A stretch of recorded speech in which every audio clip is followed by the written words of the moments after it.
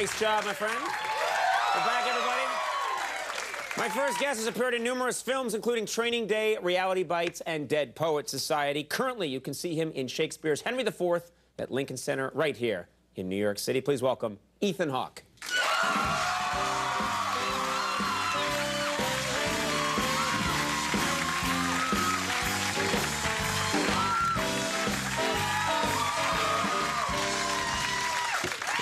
Is that here? Happy New Year. Yeah, Happy New Year to you, Yeah, it's very exciting for you. The first guest of the New Year. What an honor. I guess. You just feel honored, I you feel just seem thrilled about the whole thing. Well, no, I, Now, uh, before we go any further, and we haven't even really begun, so why would I say that? I don't know. Um, Go on. I mentioned Lord of the Rings earlier, and then I remembered as I was mentioning Lord of the Rings that you I'm are big a fan. fanatical fan for these uh, Lord of the Rings Yeah. movies. Yeah, I, I read the book about 18,000 times from the ages of about 9 to 33. Right. Um, so you've just you you know everything because I have to say I never read well, the now, books. there's some serious fanatics. I can't be bragging about that I know everything, because I have met people that know more than I do, but I do love them. There are guys that carry like a bag of secret powder and Yeah, have a wand. I'm one of those and- guys, you know, I have some, I've heard of that powder. yeah. Now uh, I, I'm just, I'm curious. I'm curious. Magic powder, yeah, yeah, going into buddy. dangerous territory. Um, no, but you know, I gotta say that I've been, uh, you know, we've had uh, a bunch of the stars from these movies on. You had? Yes, uh, Elijah nice? Wood was. Uh, yeah. You had Frodo here? Yes, we had Fro. Yes. Was he deep and powerful, and did he move you? He's an actor who plays Frodo. You're Okay. scaring me Yeah, now. Have you seen Frodo? Have you seen Gandalf? Uh, I tell you, those things, they really do uh, mean so much to me and my whole family. Every premiere um, that they've had, you know, when the movies first come out, I take my brothers um, who live in Indiana and they fly in and we go to the premiere. And the, the first one, I freaked out. I started screaming Gandalf for president, you know, at the opening. And I think you were s- right behind me in the theater. I think I called security on you. Yeah. Yeah, the second one, my brother got so excited he had an asthma attack. Um, and then in the last one, we all were just, we, we made it through without incident. So, um, he had an asthma attack. Seriously? So Yeah, did he have the gonna be mad at inhaler? He's okay. that now. Yeah, that never that? sounds cool. You Yeah, got yeah. so excited at the Lord of the Rings movie, you had an asthma attack, But he, he did it in such and we had to give you a wedgie to bring Yeah, you around.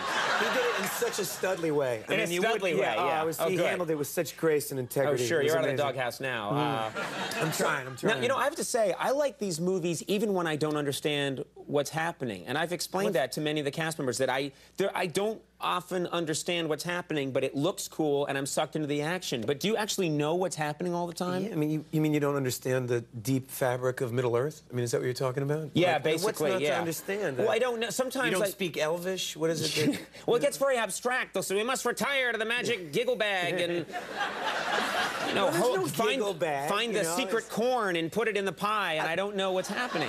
I was convinced as a kid, I was really convinced that this was another world that did exist, and I used to pray to God that I could be reborn in that world. Wow. So that's Yeah. intense. That's Yeah. very intense. I don't know if that says how much I like the books or how much I hated my own life, but Yeah. one of them. You were escaping one way or the other. Okay. So uh, and so you've seen the movies and you knew everything that was happening the whole time. Yeah, uh, have people seen? They're awesome. The They are, last they- one is absolutely stunning. I've, yeah, I have not seen the last one Yeah, yet. but I have to say, as a fan of the books, I was so sure that I would be disappointed. Right. And they're just, they're tremendous. I can't wait to go again. I think that's it. I think they're done.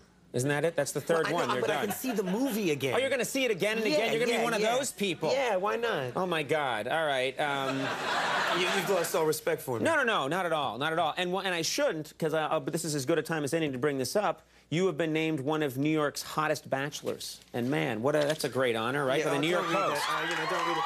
But, uh, you know, it's a dubious honor when you have two children. You know, it's a, it's, it, it was cool to be a hip bachelor when you're 23, but now it has a different ring to it. Well, you're in good company, though. I don't know if you've checked this out, but they list all the different uh, bachelors that they're there. You're up there at the top. Yeah, There's good. you, Ethan Hawke, and then keep going down. It's pretty cool. You got your Abe Vigoda right there.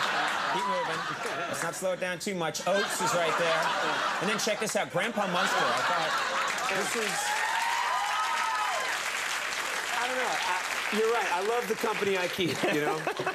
What's weird is just like those- any you know, Grandpa Munster reference makes me is, like, happy. I hook up with Grandpa Munster all the time. We go pick up ladies in bars and stuff that like that. That guy, we've really- had him here on this show. That guy's a wild man. Is he still alive? Yes, he's still alive and has, yes.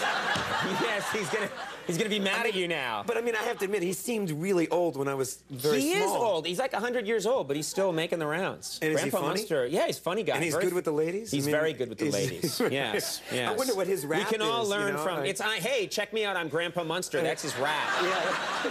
That's all the rap anybody needs. You, know, you just you go to a bar with him and just ride his Yeah, wake. you know? exactly. Exactly. Now, uh, you occasionally still make the, and this is something you're proud of. You still make the worst dressed list, and you like that.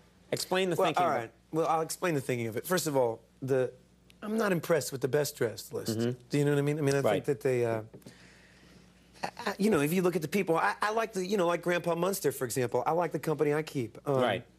But my my mother. Grandpa Munster, by the way, is on the best dressed list every year. Yeah. That guy's got All slick right, I gotta learn. I got stuff to learn. I got Yeah. stuff to learn. No, but Well, you I- like you like having. Uh, I mean, you, you don't want to be part of that pack that's that uh, that, that that's always wearing the perfect uh, outfit. That's not It's your not thing. my priority in life. Right. So I don't mind it. My mother, however, minds it. My mother always thinks, you're on the worst dress list, and you think you're cool and like, you know, hip. And what people really think is they look at that and they think, who raised him? Right, Me. right, right. And you know, Right. it looks bad on her. Right. So she begs me to get off it, but I, I particularly don't care. Yeah. You know what's funny? My mom doesn't care what I do as long as I'm polite.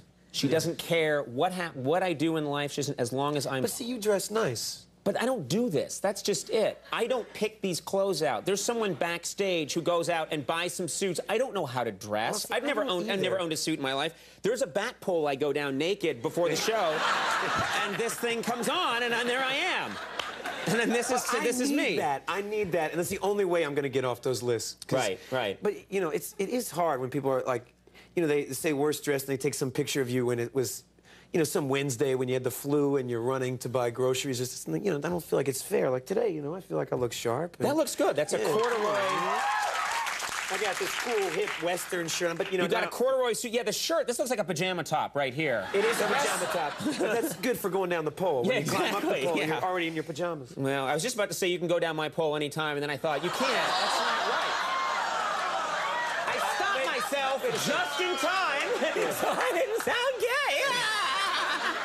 I think in a weird way you still sounded a I little I still gay. sounded a gay. little Yeah, gay. yeah, yeah. The fact that the thought was there. The fact is- that I was is- just about to say like, Yeah. and then I thought, don't say that, and then I did say it, and now I'm gay.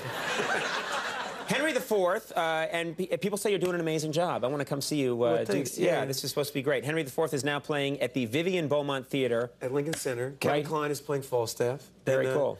It's a great show. Yeah. Well, I'm going to come by and see it. Uh, But go. if you don't, if you don't get the Lord of the Rings, man, Shakespeare's gonna, you know. I've some Shakespeare in my day. Mean, you got any quotes for me? I didn't understand it. Yeah, But no, I, I'm looking forward. I'm going to come check it out because I've heard amazing things. Vivian Beaumont Theater right here in New York City. Ethan Hawke, thanks, thanks so much for for being here. Happy. New Year. Always a pleasure. George Wayne coming up. We'll take a break. We'll be right back.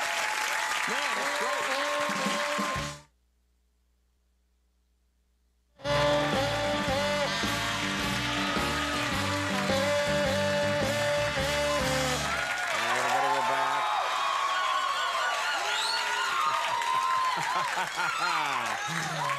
You know what? I just got that 2004 feeling.